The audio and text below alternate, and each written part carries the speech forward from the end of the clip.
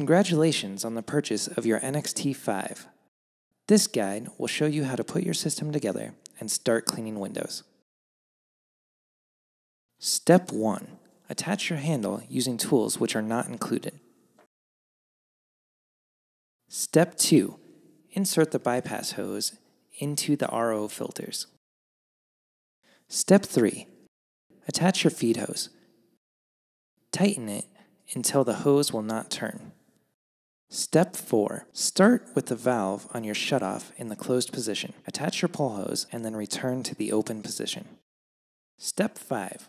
Turn on your source water. Step 6.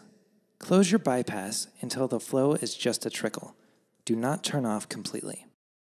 Step 7. Plug in your system. Notice that the light turns on. Step 8. Wait until water is coming out of your pole. Step 9. Take an initial pressure reading. It is recommended that you have at least 60 psi from tap pressure before running your pump. Remember that running your system without having water flowing through it can destroy your pump. Step 10. Turn on your pump.